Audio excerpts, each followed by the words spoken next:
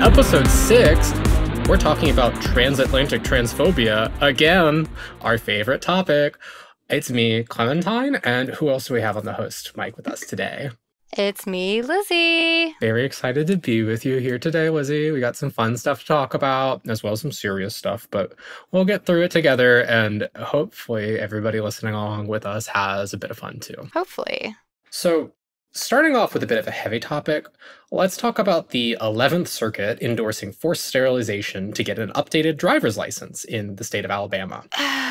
the 11th Circuit Court of Appeals recently reversed a lower court ruling that had been blocking Alabama from implementing a rule that would require transgender Alabamians to undergo sterilizing sex reassignment surgeries before they could update their driver's licenses with their correct gender markers. So instead of filling out the paperwork and just getting your updated driver's license, they're like, you need proof of surgery to get this. so that's a lot, right? And the rule got challenged in 2018. Three trans women in Alabama ended up suing, right? So these women all testified in court about the discrimination they faced because their IDs didn't match their lived genders. So you show up someplace like looking like a woman and then you get carded and it says male on it. And all of a sudden the transphobia starts to come out. One woman, a firefighter, was barricaded in a hot room and left with third degree burns while her colleagues called her a freak. Another lost her job after presenting a driver's license that did not match her gender identity. A third was ridiculed by a driver's license exam administrator when it became clear that her gender marker differed from her identity. I don't know about you, but it seems pretty obvious to me that there's some discrimination going on here and that it seems to happen pretty severely and immediately after they get their ID checked, right? Yeah, I would definitely agree with that. So basically, this takes a while to get through court, right? And so they filed suit in 2018 at the lower court in Alabama, starting uh-huh. in the state level. It works its way up into the federal courts. And in 2021, a federal district court ruled that Alabama's policy was unconstitutional and that it violated the three trans women's equal protection rights. So this decision got appealed by Alabama because that's their right. That's how the courts work. They're allowed to appeal things, apparently. But they appealed it to the 11th Circuit. So unfortunately, a number of the appeals courts have been like filled with a bunch of lifetime Trump appointees in recent years. Uh-huh. Not as much with the uh-huh. Biden administration, obviously, but Biden has been a bit slower than Trump to appoint judges, which is unfortunate a lot of these seats got filled, and certain circuits, like the 11th, so that's the set of courts covering Florida, Alabama, and Georgia, and the 6th Circuit Court of Appeals covering Michigan, Ohio, Kentucky, and Tennessee, have started to consistently rule against transgender litigants. Like the decisions that come out of these courts are just like basically a lower court will say, yeah, that's pretty discriminatory after you get the examples like we saw above, you know, and we just talked about where right. it's like if you got barricaded in a hot shower with third degree burns, like that's discrimination, right? And so lower courts have agreed. They've said, yeah, this is not good. You can't do this. You can't be discriminatory. You can't have government policies that hurt people like this.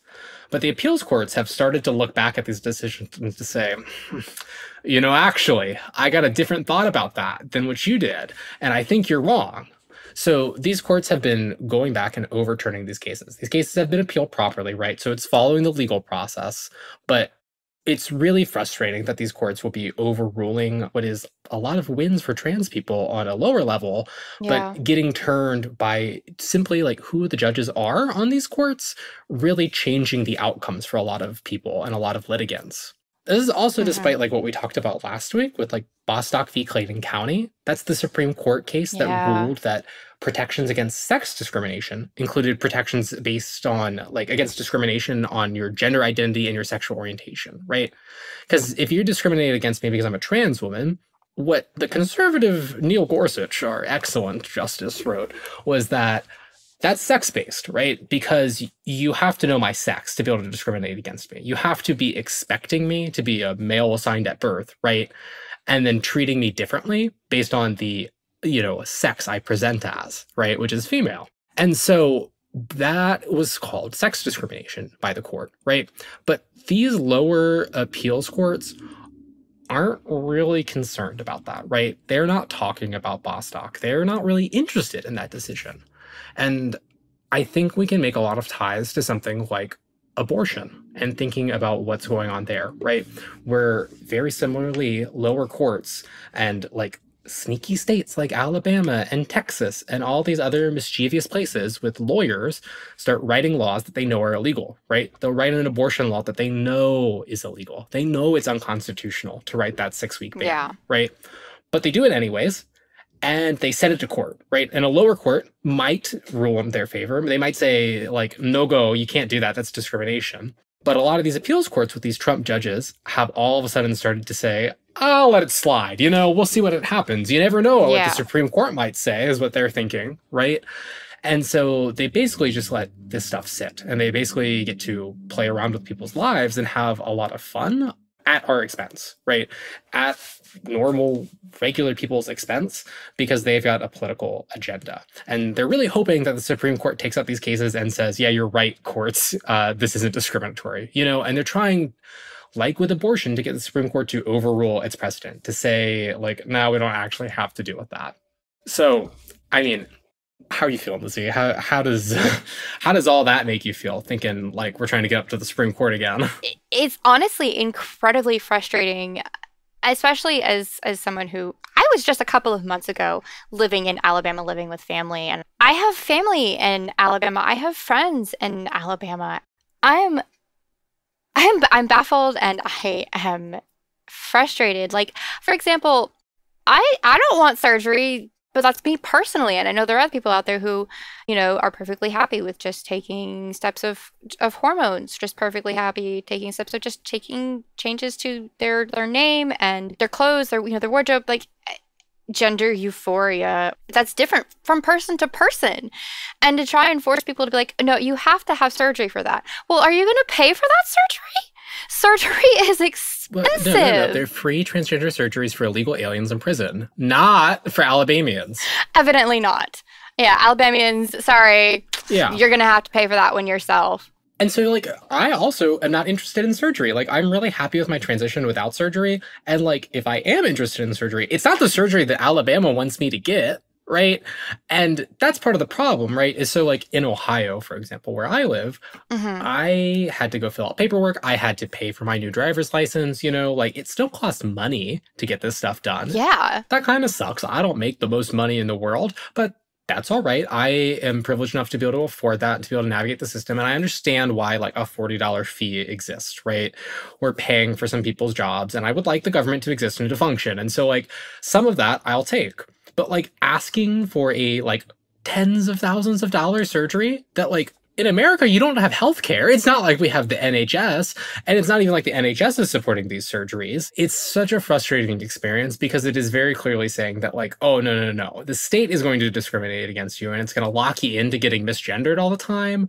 Like, imagine if you're just like a trans anybody who wants to go to the bar and not get like awkwardly ID'd, right? yeah even if you want to go through the effort of paying the state to fix your license and giving them all the paperwork accurately filled out, you know, and doing Mhm. all that effort, they're still like, uh, can I see your surgeon's note? right Which and is it- weird. It, that is so weird. Like, and obviously, like already people were having issues where they're getting, they're losing their jobs, they're getting harmed and emotionally traumatized and everything. Also, say that that this this becomes a thing where it's law. Who's to say what the the bar is of of what surgeries you have to have? What's going to be enough surgery? What's going to be oh that's not the right surgery? Like, who's going to be arbitrarily deciding that for everybody in Alabama? Yeah, it's up to the state legislators, which um I don't know. I really don't trust the people who are constantly being sued for violations of the Voting Rights Mhm. Act for gerrymandering and discriminating against black people and minorities in their districts. And so like we know that these people are not trustworthy people, especially on these issues. Yeah. Do you want to talk about some of the reasoning behind this? Because I think that's always fun. Like, as someone with a law degree, I may not practice law. So, again, no legal advice. Anybody listening, it's not legal. But they do what I call a real lawyer TM move of going, well, actually. And so they change what they're talking about, right? So the question is essentially like, does everybody have any equal protection, like, or an equal right to get your gender ID mm-hmm. updated, right? To have your gender ID accurately reflect your gender on your driver's license. right. The court goes, actually, I've got a better question for you. That's not the question.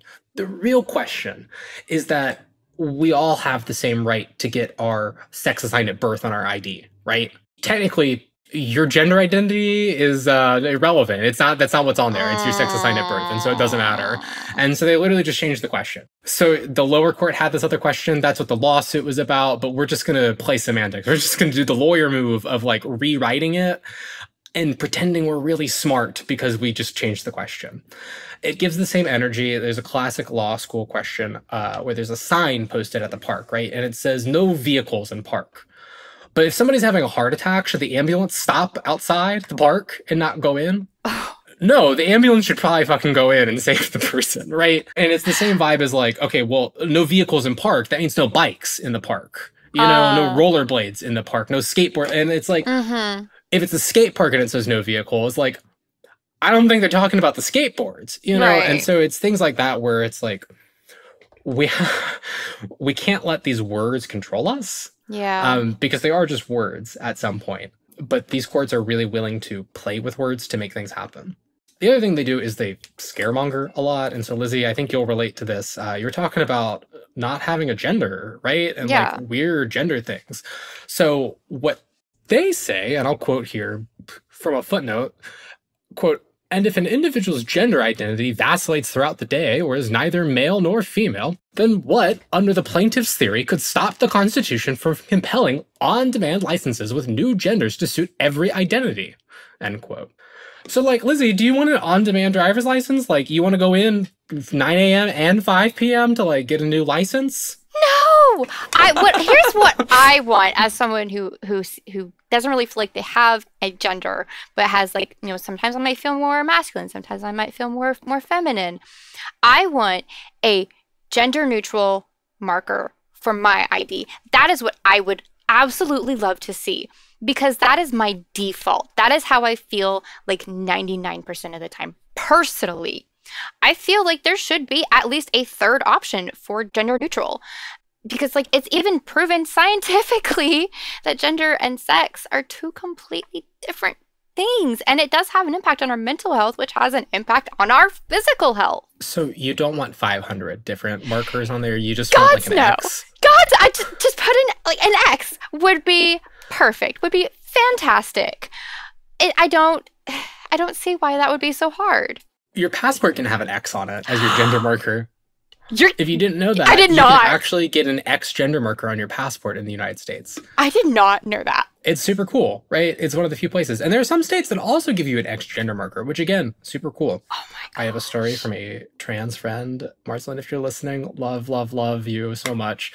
But in the UK, she's had issues with her X gender identity because the UK doesn't exactly like that it's an X marker. And their systems are like, you either give us an M or an F. And if you give me an X, you're nothing in the system. And it's like computers have trouble with mm. things like that because they haven't been properly updated to account for that. And it's again stuff where like, we know with what the trans UK, there's been a lot going on in the UK, right? Yeah and they're not exactly the kindest to trans folk and not exactly the most willing to update their systems to accommodate us even when it's a very simple change. So i will throw out that caution towards an x gender marker but i do want to say like it's a real option and it doesn't have to cause major problems for things. If governments are willing to do the minimal level of effort and accept their computer systems with an x you know? It's, it's things like adding that. adding one little option into your computer system but that's I I did not know that was a thing, and now I have something to consider as someone who is trying to get their passport fixed after dealing with a name change. Yeah, so 100% an option for you. The other thing is like in like with the passports and with the 28 states that like do allow you to change your gender marker oh. to an oh. X, there hasn't been a demand for on-demand gender IDs, right? Nobody's suing no. to get their gender ID changed every single week or whatever, right? Like if it needs to be updated, it needs to be updated. But like most trans people, I think are like other people in that we don't want to be at the DMV. No. I don't want to be there.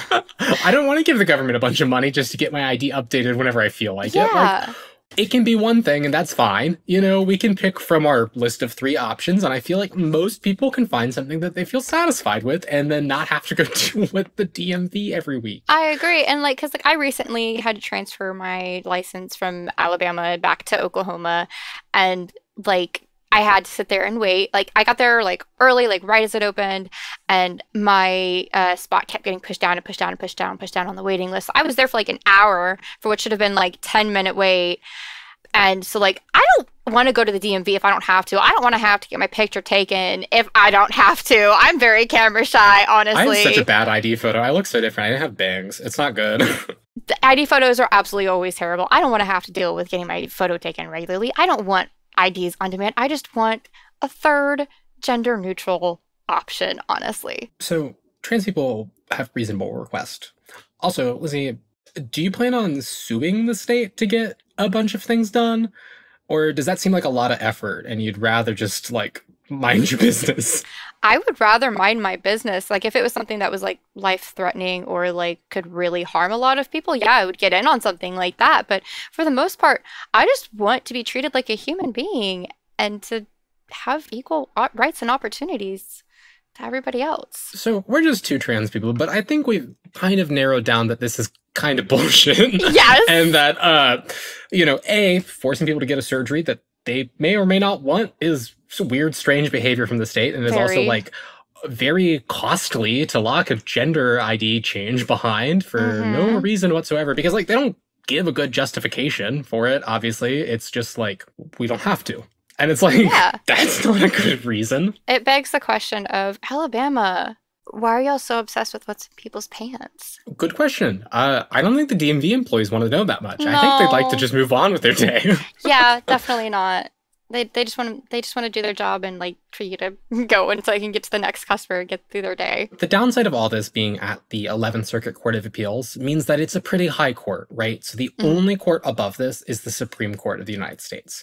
And the court doesn't take every single case, right? So this case may get appealed to the Supreme Court, but I don't think the court's likely to take that specifically because the Supreme Court, fortunately or unfortunately, seems likely to decide whether trans people have a right to equal protection in the realm of healthcare later this term in a mm. case called US v. Skrmetti. So this just this case is a consolidated case of a variety of healthcare cases that mm-hmm. are essentially trans healthcare bans on minors, and questioning whether or not uh, this violates the Equal Protection Clause. So the court's probably going to rule on this later this year with a decision, and that's both like I think somewhat hopeful that we get a good decision, but also very scary with the yeah. possibility of what could happen. Because right now, like we've kind of talked about a little bit, trans people sit in a weird spot, right? Mm-hmm we don't have an equal protection right necessarily to like being not discriminated against based on trans status. Right. But trans status counts as sex discrimination right now, right? Mm-hmm. Under a different Supreme Court case. And so we're in this really weird middle ground where, like, in some places that are willing to protect us, like the Biden administration, for example, they're willing to use that Supreme Court case to, like, leverage their power and to push for more inclusive rights, for more inclusive policies, and for more inclusive, like, applications of the law. But in other places, that uncertainty is being used to deny trans people care, right? right? Because the court hasn't said there's an equal protection right, the 11th Circuit gets to say, Whew, I don't really know what's going on here. I'm just going to pass the buck and just say it's not illegal. And so it's a really tough spot to be in, but I think later this year we're certainly going to talk about it. We're going to have uh, more to say about this topic. Absolutely. You mentioned this when we were talking about the show earlier. Uh, conservatives again. Uh, so we got Republican attorneys general. So those are like the head lawyers of the state, right? Mm-hmm. The prosecutors, the big bad guys, threatening to sue the American Academy of Pediatrics. On September 24th, 2024, so two days ago prior to today when we are recording this, 22 Republican attorney generals, the head prosecutor or lawyer for a state, sent a letter to the American Academy of Pediatrics accusing them of violating consumer protection laws because of their endorsement of puberty blockers. Yeah. So, hmm fascinating stuff here. We've got reporting here from Erin Reed, Erin in the Morning on Substack. Very good follow, very good source for your trans news. What she links to is um, one of these Republicans uh, on Twitter sharing their letter because they're so proud of this letter, right? And so if I pop this letter open, it's basically a big statement that goes and uh, essentially says that people are violating uh, kids' rights by using puberty blockers, right? Where it says that it's actually harming kids. Let me get the quote here. So they say, quote, but when it comes to treating children diagnosed with gender dysphoria, the American Academy of Pediatrics has abandoned its commitment to sound medical judgment. End quote. Basically, they're like, there's no reason to do any of this like trans stuff. You don't know what you're talking about. And for all of our UK listeners, this is a big one. The Cass Review gets mentioned. So the lever, like you all know what the Cass Review is. I'm not going to explain it all that much, but for our US listeners who don't know about the Cass Review, A, listen to what the Trans UK and learn about the Cass Review. They do a much better job than I'm going to do explaining it. But B, the Cass Review is a fundamentally flawed piece of research. Research in quotes, I should say. It's not much research, but it's a fundamentally flawed document that essentially argues against transgender healthcare based on flawed science and a rather poor use of citations. And so it's very unfortunate that these Republican attorneys general have decided to heavily cite this letter like to the Cass Review. Like it is literally the only citation that exists in the letter outside of them quoting the American Academy of Pediatrics mission. Which okay, that we all know quality work has two sources, one of which is the person you're making fun of, and the other of which is your friend. So I am at a bit of a loss of words in terms of like what to even say when it comes to like, really, this is the quality of work we're doing. And this is 22 states that have signed on to this. Okay, so we have Alabama, Arkansas, Florida, Georgia, Missouri, Arizona, Iowa, Kansas, Louisiana, Mississippi, Montana, Nebraska, North Dakota, Ohio, South Carolina, South Dakota, West Virginia, Texas, Utah, and Virginia. That is a very unfortunate smattering of states from all across our country. It really is. So this type of thing happens like low key all the time where these Republicans like sign on to these letters. And like, in my opinion, they're pretty frivolous, right? Mm-hmm. But they also carry like a certain level of real threat in that like even if nothing comes of it these motherfuckers wasted a ton of time and resources, right? Mm-hmm. They spent their staff's time doing this, right? Some level of attorneys were spending at least an hour doing this, and like they're getting paid by the state government and our taxpayer money to do this nonsense, which is like frustrating on its own level, mm-hmm. right? Second off, the American Academy of Pediatrics, which is like as far as I understand, a rather reputable organization doing good things for people, right. uh, helping people in a general sense, even if they're not a perfect organization. Uh, they're wasting a ton of time and resources dealing with this, right? Yeah. Like they have to respond to this. They have to like think about it because like literally 22 states are threatening to sue them for consumer protection violations under state law because they didn't follow the Cass Review. Again, something that is not from this country. It is fundamentally flawed. So there's that. But then the other thing is like it's also designed to put pressure on them to not support trans kids, right? It's to make it so it's like by supporting trans kids, it's supposed to be too costly, you know, yeah. or even if you don't get sued, you still had to deal with this bullshit. And yeah. it's like that has a level of cost to it. I know this cost exists in other places too. You see things like Elon Musk suing Media Matters, right? And then mm-hmm. Media Matters being forced to lay off a bunch of staff members because of that to be able yeah. to afford the lawsuits, even though we all know who's going to win that stupid lawsuit because it's not a real lawsuit, right? No. But the reality of the system is that our side oftentimes is under resourced and has to take a lot of costs on to fight back. Unfortunately. I also said this is a bit of a, you know, transphobic transatlantic cross pollination. You know, we're just uh, crossing the Atlantic Ocean with this trans stuff, and it's the it goes both ways, right? Because yeah. I know the UK people have talked about the Heritage Foundation, which is a lovely United States organization doing all oh, kinds yeah. of things here. So lovely. All I have to say is, and this goes not just for you know how they hand how conservatives, Cass Review, Republicans, you know, just basically pe- transphobic people. It's not just in that, but also in your abortion laws and and everything and how they're they're trying to control women's bodies. That's exactly what it is. It's trying to control things to fit their perfect little mold, which is never going to work or happen. It's all about control. They don't care. They say it's for the kids. It's not for the kids. It's for control.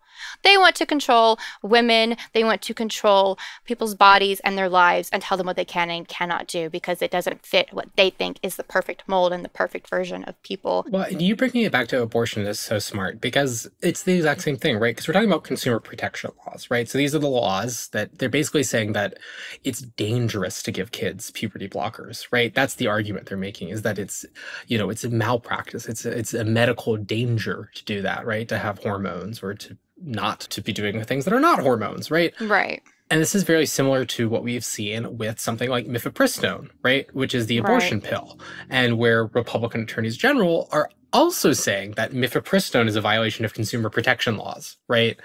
Where you are using this unsafe drug, right? Judge Matthew Kacsmaryk, who's the district court judge in Amarillo, Texas, um, he's a favorite of conservatives, a Trump appointee, right? Um, and somebody who issues a lot of national injunctions from his courtroom uses these type of laws all the time and these type of arguments. Like he's the one who issued the mifepristone injunction, trying to basically ban mifepristone nationwide, saying that it's dangerous and that the FDA didn't actually approve it, uh, which is weird because like they did. they did. And so it's like very frustrating that these people use their positions of power and use their taxpayer money to like really attempt to undermine decades worth of work from advocates.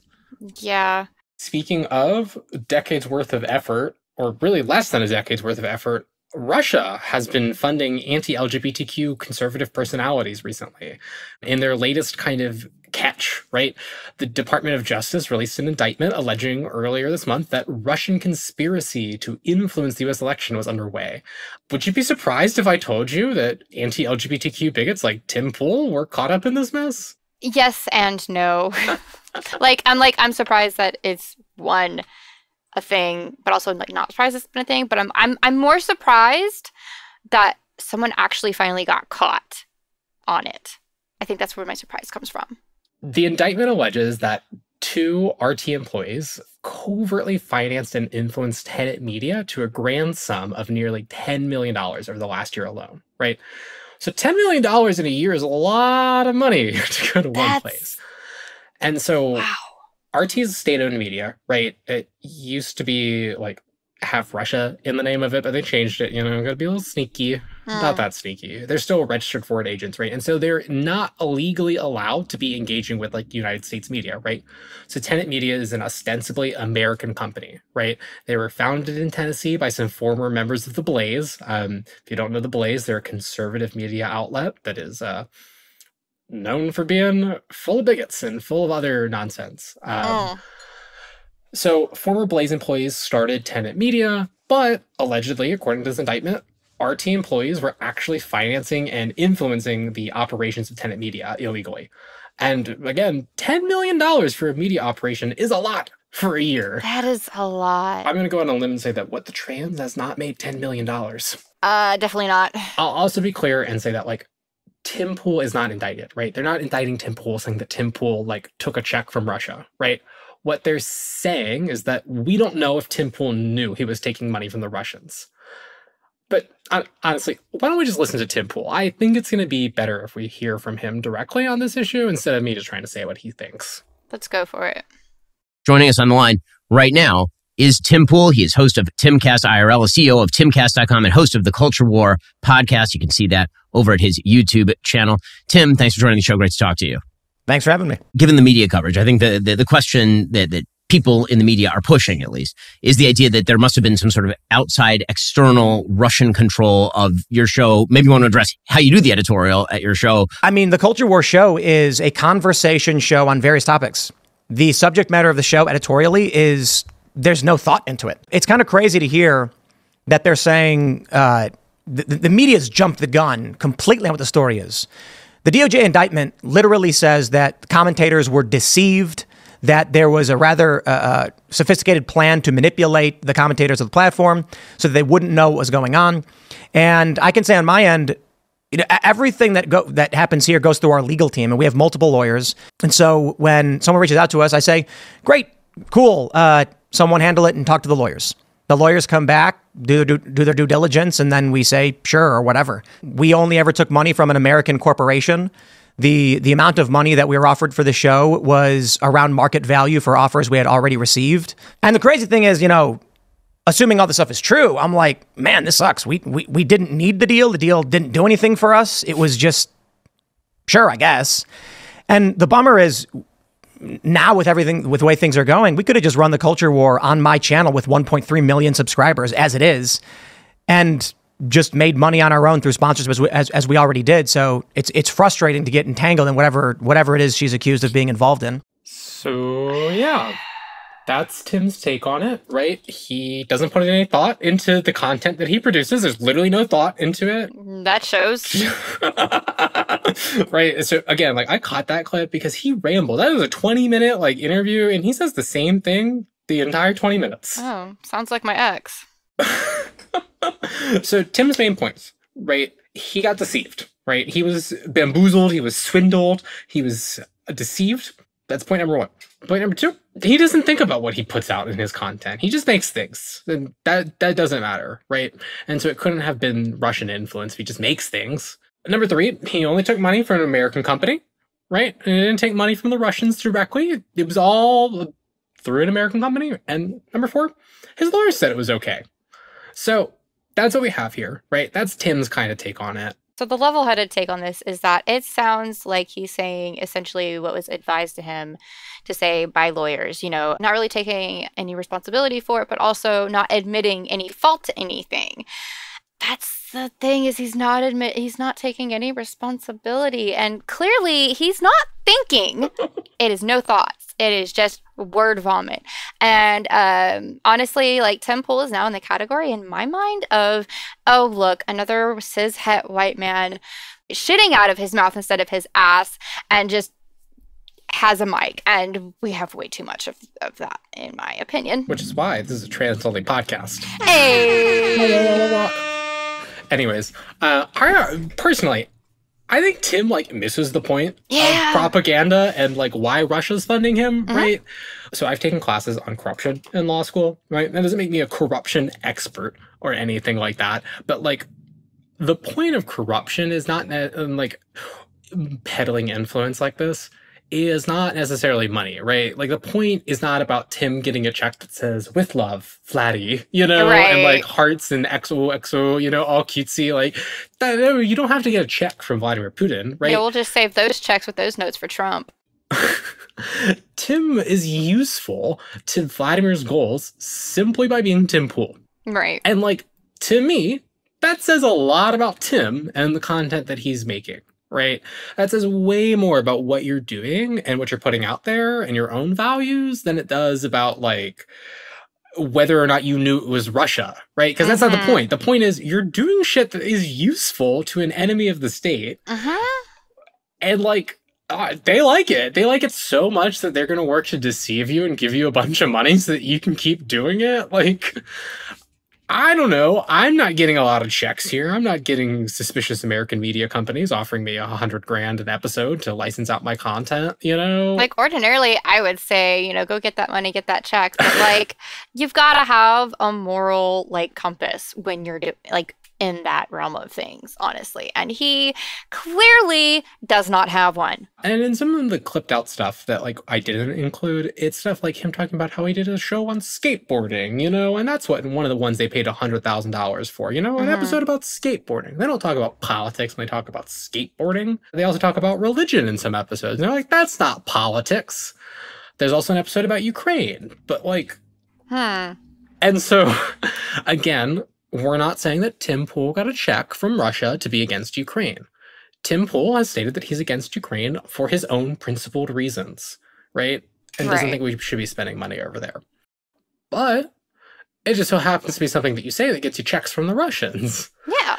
uh, even if you don't know that's from the Russians. And like, it's just like one of those where like we talked about last week, right? Where it's hard to keep up with how much anti-trans stuff is going on in the US Mhm. because one of these sides has a lot of fucking money all the time. Yeah. And the other side doesn't ever have any money to talk about things. We're struggling out here.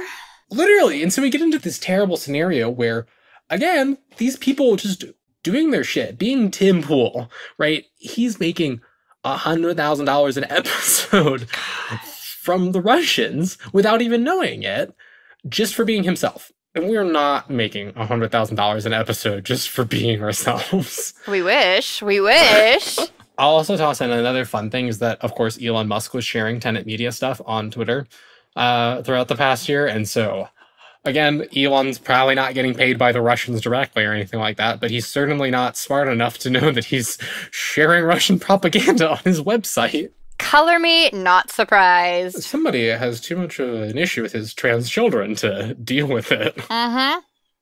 That's why we will never stop dead naming Twitter. X is for gender markers. I, Yes. oh my gosh, I love that. X is for gender markers. Can I have that like on a t-shirt, stickers, hat? I think that's a good one. Uh, as serious as it is that like, wow, these people are getting paid money.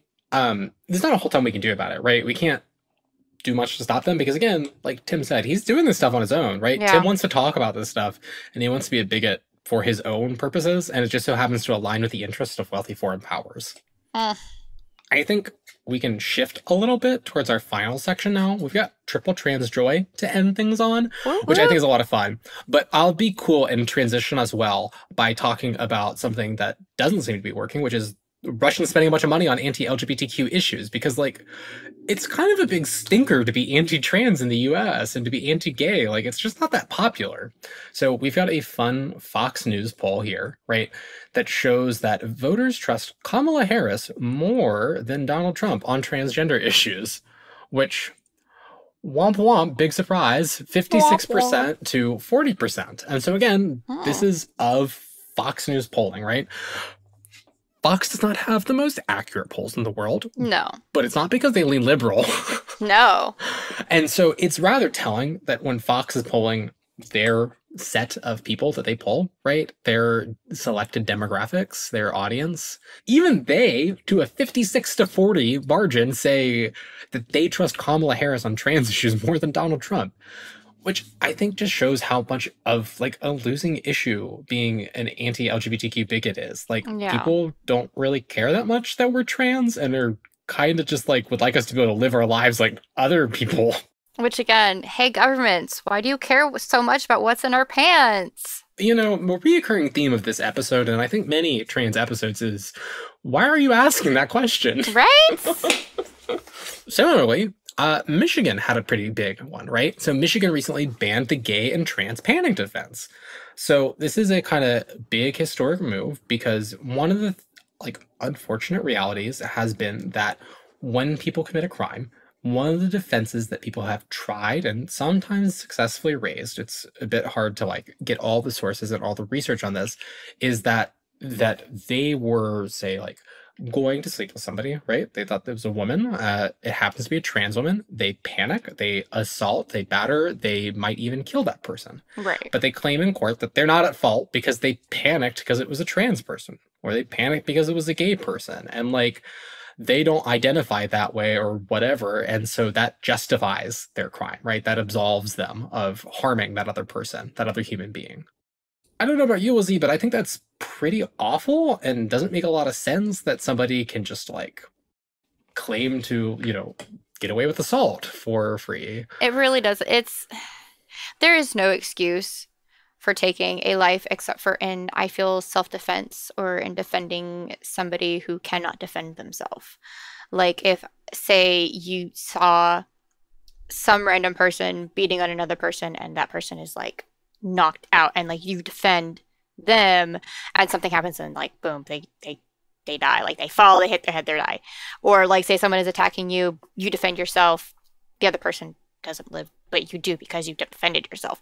It's that's the only way i could see of taking somebody else's life being acceptable because it's not like you set out to take somebody's life in that type of situation. Honestly like i feel like the whole gay panic thing it's i don't care if you panic your reaction should absolutely never be to harm somebody. It should never be to take somebody's life. Taking somebody's life has more of an impact, not just on yourself than you might be willing to admit, but also it has an impact on communities, on loved ones. It's it has a long lasting and long reaching impact.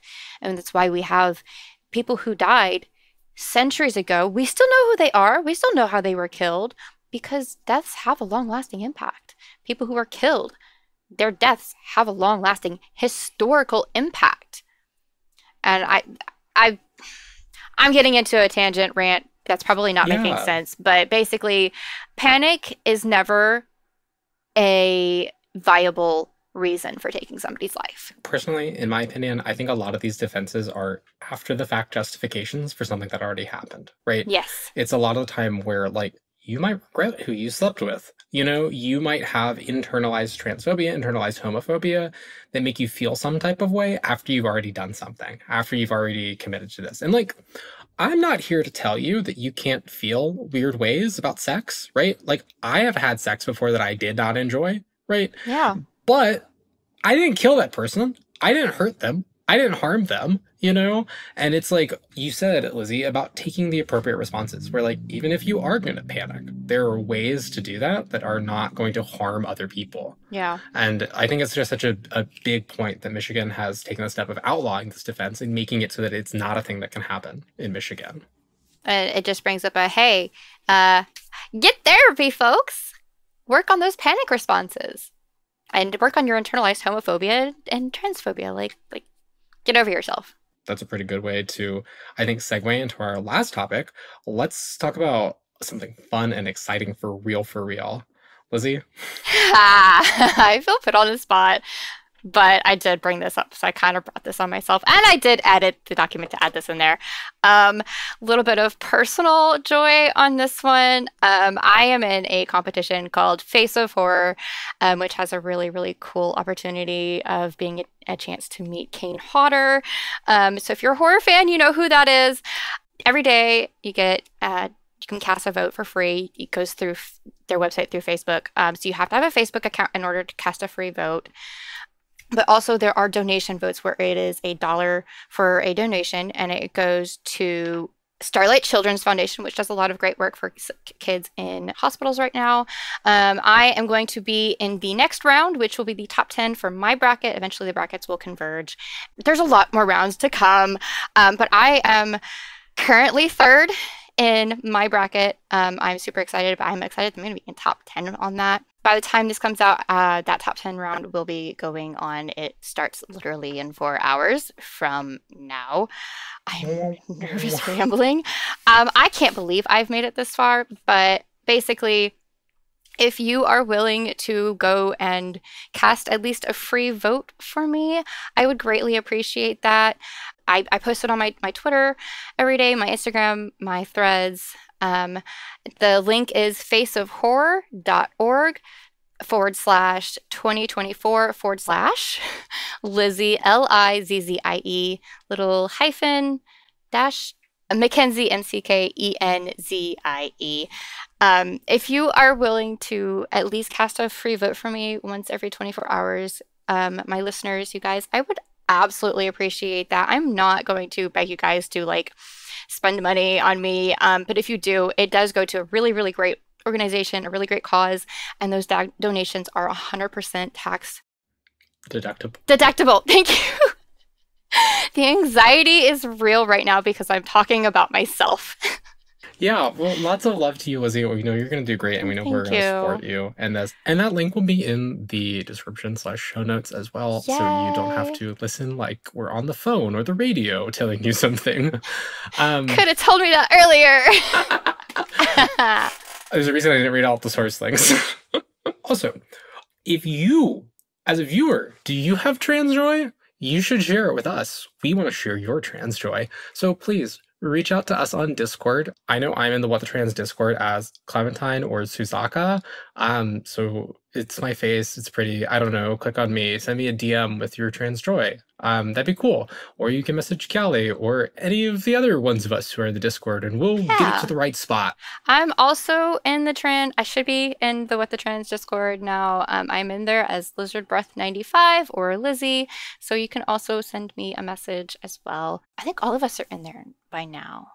We should all be we in there. Be. Uh, Valeria and Ketsa aren't here today with us, but I think they're in the the trans Discord and they will respond too. So shoot something our way. Uh, lots of love to you all. And thank you so much today for listening to What the Trans USA, episode six. Woohoo! Today's script was written by Clementine. That's me. It was also presented by me, Clementine again, and Lizzie.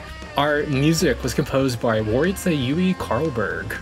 And our Patreon producers are Danny Gold, Lex Phoenix, Sebastian Singh Soprano, Joe the Low Quality NB, Andrea Brooks, Jack Edwards, Emily Roberts, Dulce, Stephen Blackmore, Nuarte, Needles and Threads, Flaming Daphne, Dr. McGee, Genevieve Dickinson, Rachel Harris, Katie Reynolds, Georgia Holden Burnett, Grabalicious, Mix Affin, Root Minus One, Gray, Elizabeth Anderson, Bernice Roust, Ellen Mellor, Jay Hoskins, Trowen, Ashley, Maddie B, Setcab, Jane, Roberto DePrunk, Rose Absolute, Sarah, Cena, Kiki T, D, Sky Keelane, Eric Widman, B, Jude, Monsieur Squill,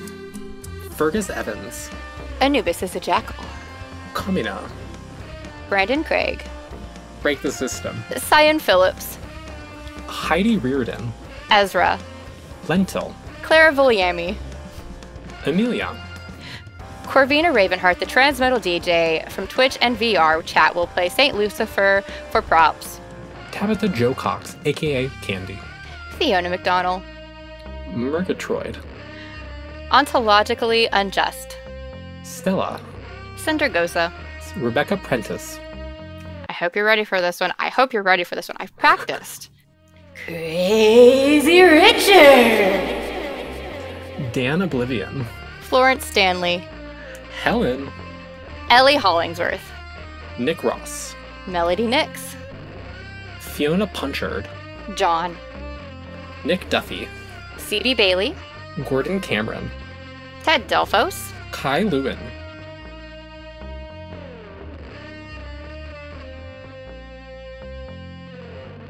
Vic Parsons, Patreon user, Vic Kelly, Catherine, Sabrina McVeigh, Cassius Adair, Melissa Brooks, Karakin 12, April Heller, Sophie Lewis, Alexandra Lilly, Claire Scott, Ariadna Pinna, Lauren O'Neons, Bernard's Pink Jellybean, Lanos. and last but not least, Chris Hubley. Thank you all so much to our lovely patrons. We love you so much. We did it. We survived. We look forward to hearing you on the next episode of What the Trans USA. Whoop. Goodbye. Bye. Love you guys.